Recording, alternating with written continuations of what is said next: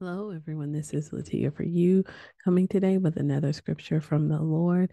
Let's go ahead and pray and we can get started. Thank you, Father God, for this word. Lord Jesus, help us to heed it and walk in it. In Jesus' name we pray. Amen. All right, you guys, we're in James chapter 5, verse 3, as well as James chapter 5, verse 2. All right, okay, verse 3. Your gold and silver have corroded, and their corrosion will be evidence against you and will eat your flesh like fire. You have laid up treasure in the last days.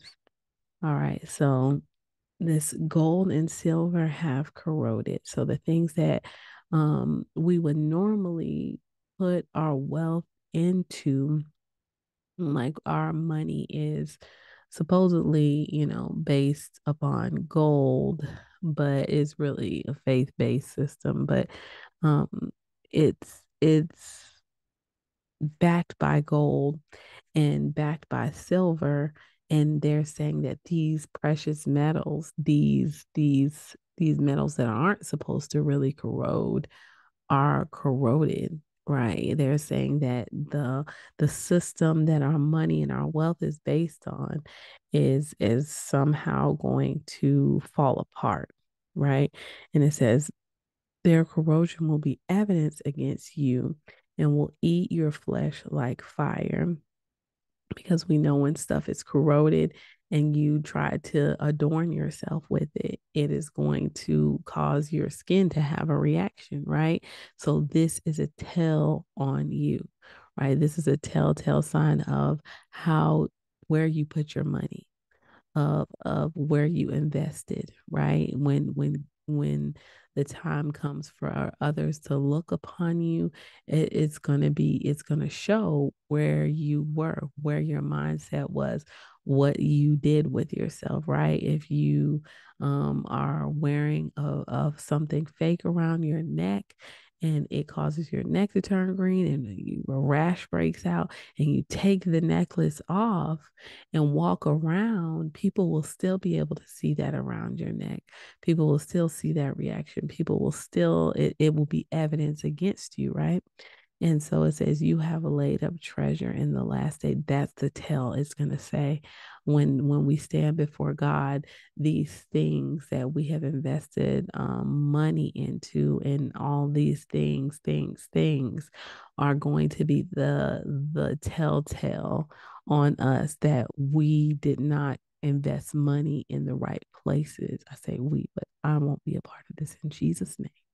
But um, uh, these things that are corroded and falling apart are are the evidence in the last day against the unwise bride, right? The one who has not put away her money in the proper place, right? We are to dedicate our time, our talent, and our time, the best parts of ourselves to um, the Lord, right? And to the poor and to working to build up the kingdom and not our own kingdom. Amen.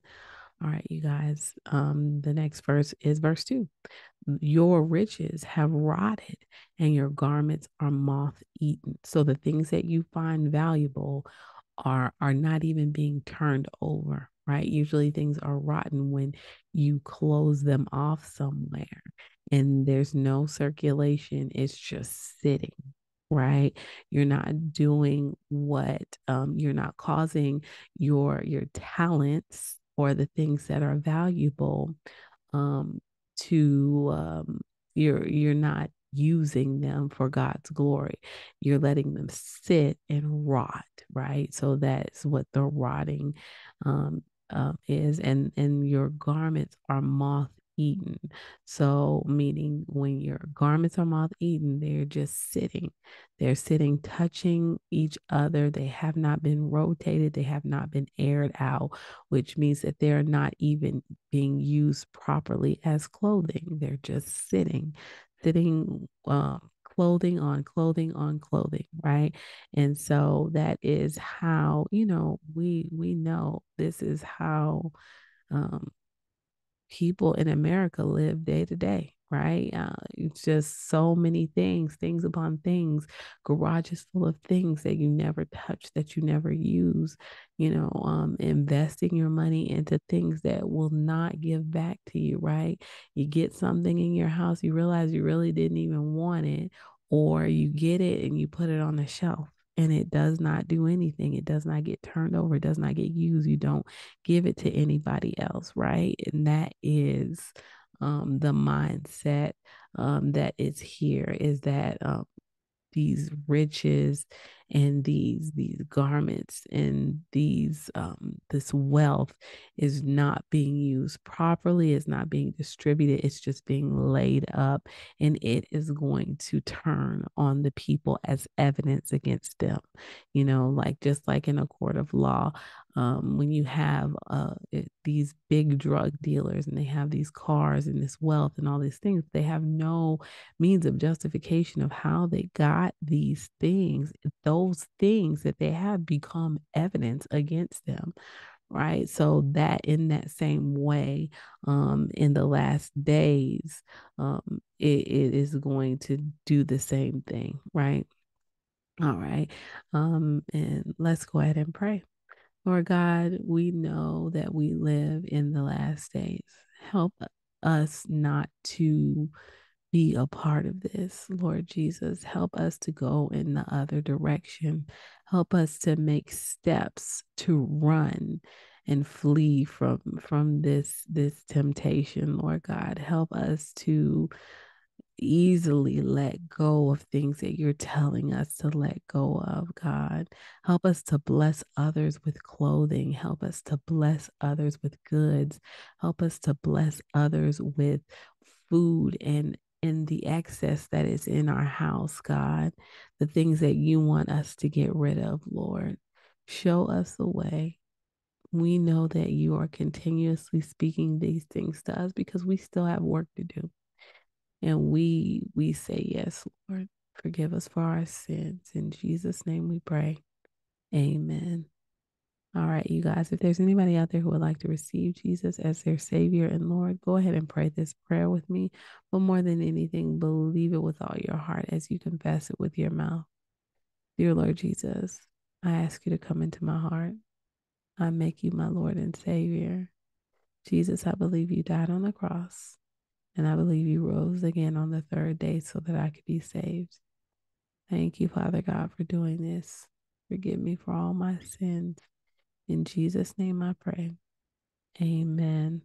All right, you guys, if you have prayed that prayer and you believe that prayer, then the Holy Spirit has entered you and sealed you until the day of redemption. And no one can break that seal except Christ Jesus himself when he comes to redeem his church. The Holy Spirit is in you to lead you and guide you into all truth, meaning He's going to show you the way and He's going to bless your path. Um, he's going to help you walk out the calling that God has um, put on your life. So allow the Holy Spirit room to do those things and lead you and guide you into all truth. Um, one of the best ways to learn the voice of the Holy Spirit is to sit down, read your word and talk to him. He is going to begin to talk back and speak um, in his still small voice. And you'll wonder, is that me? And you'll begin to learn to trust that voice because it will not lead you wrong. It'll tell you things to do, and little bit by little bit, you're going to go out and do them, and God is going to change your life.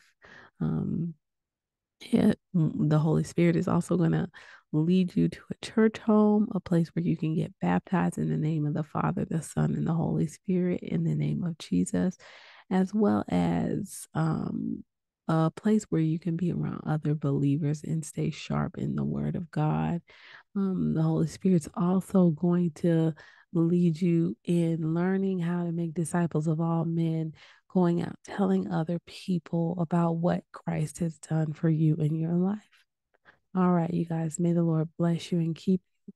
May he make his face shine upon you and be gracious to you and give you his children his peace. Take care.